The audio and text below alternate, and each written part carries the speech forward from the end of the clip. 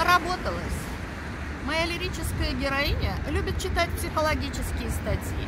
И как прочитает, так тут же начинает воплощать в жизнь. Вот тут недавно прочла совет психолога представить чувства, которые вы чувствуете к человеку. Как представиться? Давая полную волю фантазии, поговорить с ним, с чувством, пригласить его обратно к себе, чтобы не грустить и не пропадать там по человеку, а обнять его чувства и впустить в себя – а потом представить чувство человека к вам и поговорить с ним, отпустить его к человеку. Практика, короче, такая. Но моя-то сразу же без разбору стала вызывать свои чувства на ковер, устраивать им выволочку, открыла контору и под видом собеседований все это провернула у меня за спиной. Смотрю, разные существа толпятся, занимают очередь. А она выдает справки и печать прикладывает. Мол, ты свободен, а ты нет, поработай еще у нас.